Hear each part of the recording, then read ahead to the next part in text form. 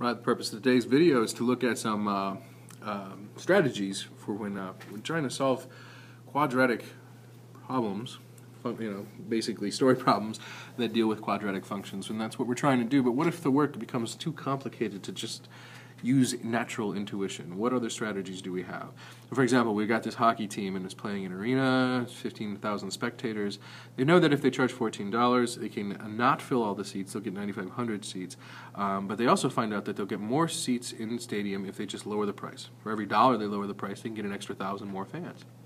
So what we're supposed to do is find a function that models revenue in terms of ticket price. So once we have that equation, we can figure out um, how much to charge how much not to charge because we don't want to be so expensive that nobody comes anymore.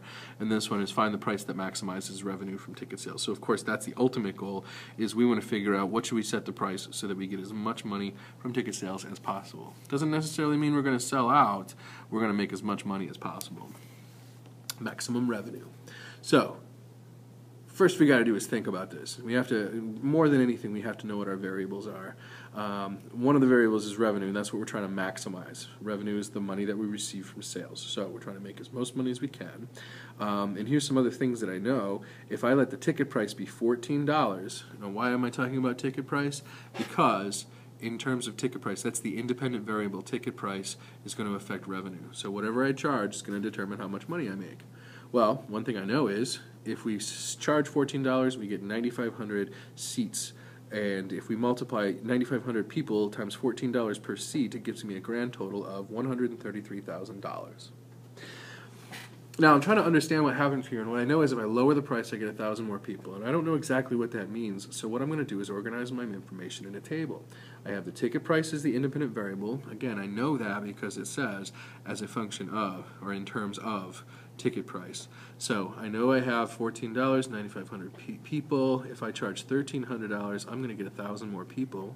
If I charge $12, I'm going to get a thousand more people than that, and so on.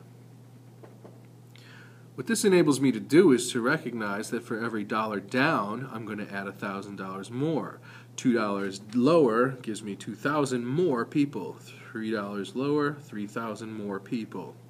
Now, here's how we express this algebraically. If I let t be any ticket price, then what I'm going to do is I'm going to take the 9,500 fans that I had from $14, I'm going to add $1,000, and this is the tricky part, for every dollar below 14.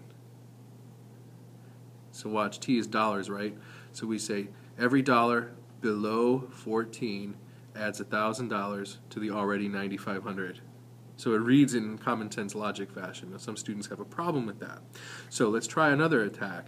Here I see that the number of stands is increasing at a constant rate, the number of people in the stands. We get an extra thousand people for every dollar down. This seems like a negative sloping kind of problem. and in fact, that's exactly what I have. That is to say, if the price goes up, then sales go down. So the slope is going to be negative 1,000 because these all differ by 1,000, and one of the points on the line is 14,9500. So I could use point slope formula to get the equation of the line. Hope you remember how to use that one. It's like walking at home. Here's our slope, here's the x, here's the y. Um, and here's the equation I have down at the bottom. If I write it out, well, it's practically the same thing. Hold on a second. What just happened there? There we go. So here it's minus 1,000 and x minus 14, and here we have positive 1,000 and then positive 14 minus t or x. So here we can see we just take that negative right here and distribute it in here and here, and that reverses the two on the inside. So we can see this equation here using logic and reason is the same as this equation here using point slope form. The point is, I promise you that when you're working with these kinds of problems, you will see situations that have linear functions within them that will eventually turn around and produce quadratic functions. If you see a linear relationship, don't forget all the stuff we spent last semester and last year learning about. Make sure you apply this somewhere um, during your homework so that you remember how to use it.